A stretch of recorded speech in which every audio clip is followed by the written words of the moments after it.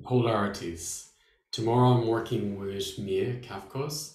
Um, it's the first time that we'll work together. I'm very excited about that. I feel she's holding a lot of feminine qualities, which will bring new qualities into the work on a deep level. And we're going to work with the polarities, which are active in ourselves and active in the field, so we can transform them and bring new codes and new frequencies in. So if you feel drawn to being part of this webinar, I feel it's going to be very deep work, very complete work, very solid work. Um, yeah, I'll see you at the webinar. Um, and the link is actually on, on this email to taking part. It's through Facebook, through Mia's Facebook account, where you can get the tickets for it. So maybe I see you tomorrow evening and be working with transforming the polarities. Thank you. Have a beautiful day. Thank you.